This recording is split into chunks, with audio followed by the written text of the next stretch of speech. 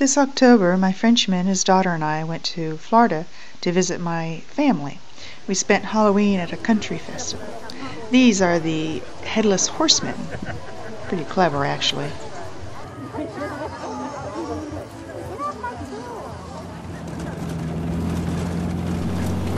This is my brother-in-law's idea of a good time. It's definitely not mine. This was a three-day visit we made to Central Florida to visit the cabin.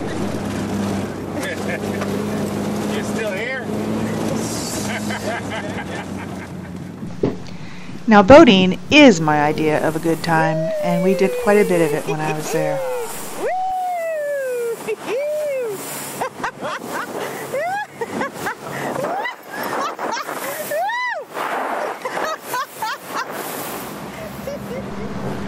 There's an island called Cabbage Key where you can stop at a restaurant to have lunch or dinner.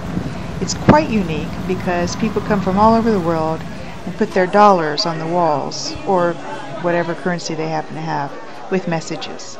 The dollars are given to charity at the end of the year.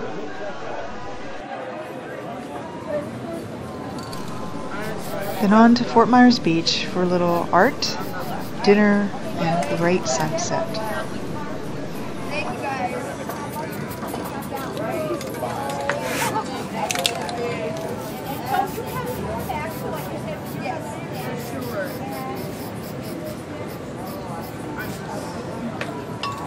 Ready? Yeah. So, uh,